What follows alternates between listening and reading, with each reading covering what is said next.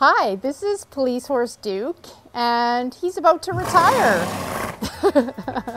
Duke is a Clydesdale Appaloosa Cross. Uh, one of Duke's claims to fame was um, he was in the Stanley Cup riot.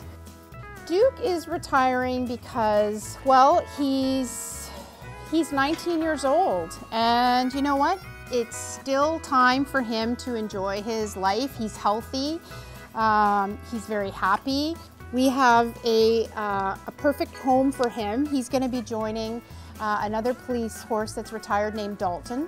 Uh, they used to be very good friends. You know, I think Duke is going to look forward to eating lots of grass, to playing with his friend Dalton, and lots of leisure. Lots of leisure time for Duke. For more information on the VPD mounted unit, go to vpd.ca.